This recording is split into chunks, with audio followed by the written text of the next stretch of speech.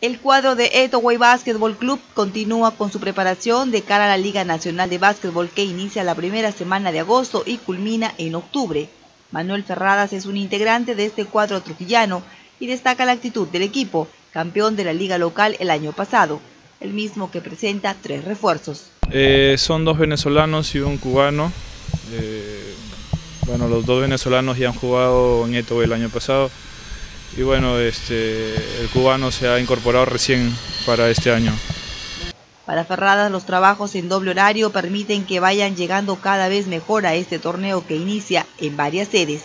Bueno, posiblemente nos toque una, una sede en, la, sierra, ¿no? por lo que he visto que la mayoría de las sedes son en la sierra, entonces eh, estamos preparándonos con miras también a que si nos toca ya pues estar físicamente bien y bueno, todos los rivales están difíciles, en realidad los equipos de provincia se han reforzado bien. El equipo trujillano trabaja pensando en ser protagonista en este nacional que sí promete. Ferraz añadió que una de las ventajas del equipo es que el plantel está consolidado. La base de los extranjeros del año pasado también nos ayuda bastante ¿no? y yo creo que entrenando como venimos haciendo vamos a dar que hablar en la Liga Nacional.